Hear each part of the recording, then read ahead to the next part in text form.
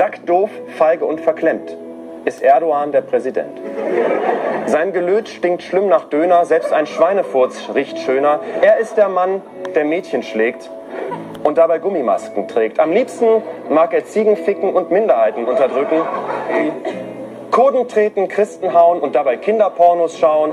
Und selbst abends heißt statt schlafen Fellatio mit 100 Schafen. Ja, Erdogan ist voll und ganz ein Präsident mit kleinem Schwanz. Jeden, jeden, jeden Türken hört man flöten. Die dumme Sau hat Schrumpelklöten.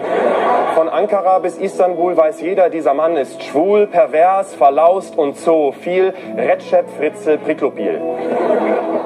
Sein Kopf so leer wie seine Eier.